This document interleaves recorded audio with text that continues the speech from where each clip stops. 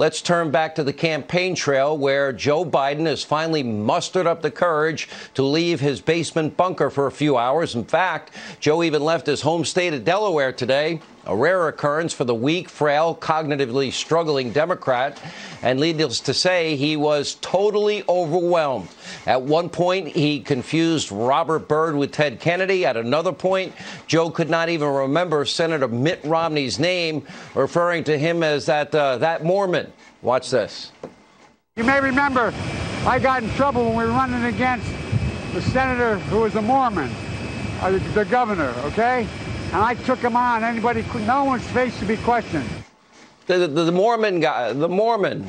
Hold these truths to be something all men are created equal doubt by the thing, you know, what, you know, whatever, the thing, God, the creator of everything. So that's how Biden's day began, and it only got worse from there.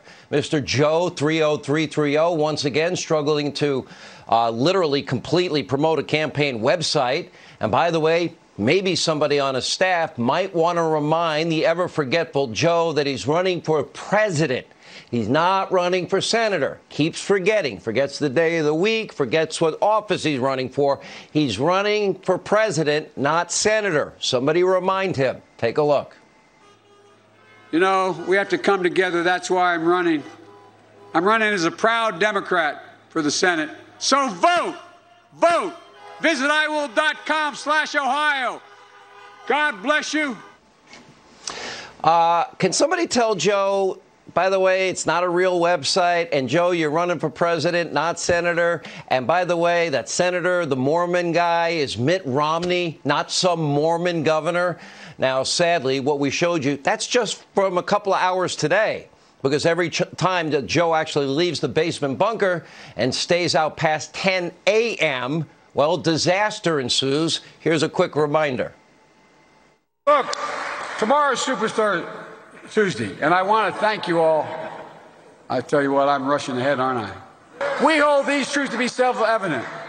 All men and women created by go. You know the you know the thing. If you agree with me, go to Joe 30330. We choose truth over facts. Play the radio. Make sure the television, the, excuse me, make sure you have the record player on at night, the, the, the, phone. Make sure the kids hear words. Poor kids are just as bright and just as talented as white kids. Donald Trump does pose an extra threat to this.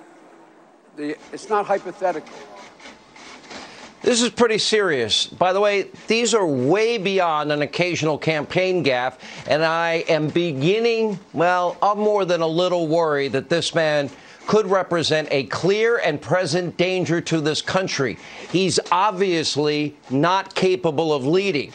He's been hiding the entire campaign, and the corrupt media mob is covering for him.